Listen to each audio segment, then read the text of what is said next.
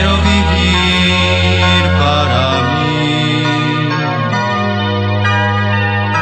sino por ti que me amaste y diste la vida por mí. Ya solo quiero vivir para ti. Queridos amigos, bienvenidos a nuestras pautas diarias de oración.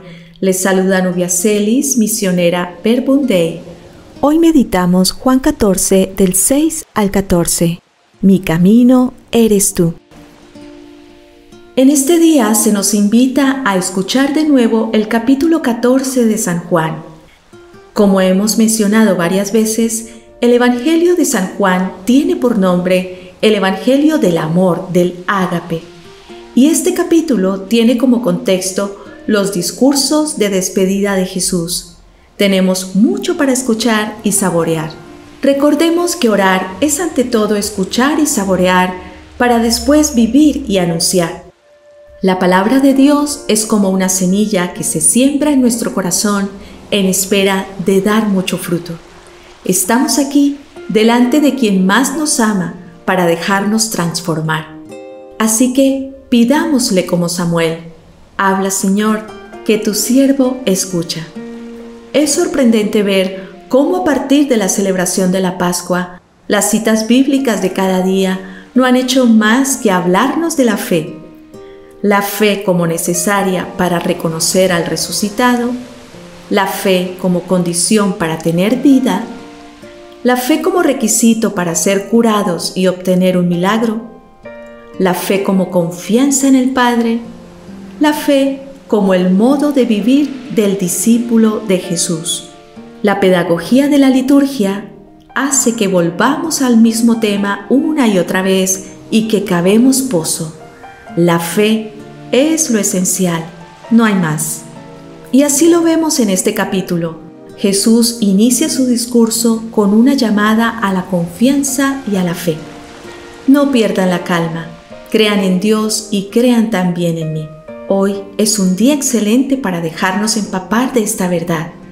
Mi fe en Jesús es la roca que me salva. La opción fundamental de mi vida es Jesús él es mi camino, mi verdad y mi vida, y en Él quiero construir toda mi existencia y la de mi familia. Mateo 7:21, Hebreos 12:1. En este discurso Jesús nos da todas las garantías y ventajas. Nos dice que tenemos un lugar, que haremos sus obras y aún mayores, que estaremos con Él y con el Padre, que nada nos puede vencer. Y no es que la fe nos evite las dificultades. De hecho, este discurso de Jesús está situado un poco antes del prendimiento y la pasión. Más bien, nos dice que la fe nos da la fuerza para vivir como Jesús en medio de cualquier tempestad. La fe nos abre puertas y ventanas a la esperanza. Nos ayuda a vivir en el día a día, dándole sentido a todo lo que hacemos y vivimos aún aquello más temible, una enfermedad, una pérdida, un problema de difícil solución. Cuando Jesús nos dice que es nuestro camino, nos asegura que podemos caminar por donde Él caminó, que en Jerusalén, el lugar de la cruz, no acaba todo, y que cuando parece que las tinieblas vencen, la luz está por llegar. Mira si no la vida de tantos que a lo largo de la historia se hicieron discípulos de Jesús. María Magdalena, Pedro, San Francisco Javier, Teresita de Jesús, Jaime Bonet, San Juan Pablo II y tantos otros. Ninguno de ellos tuvo virtudes fuera de lo común. Ninguno era un ser celestial. Al contrario, todos eran de carne y hueso como nosotros, pecadores como nosotros. La única diferencia es que ellos creyeron en las promesas de Dios hasta las últimas consecuencias. Esta nube de testigos nos anima a seguir el camino, dejando atrás lo que nos estorba y avanzando hacia la meta, diciendo como San Pablo, para mí la vida es Cristo. Filipenses 1:21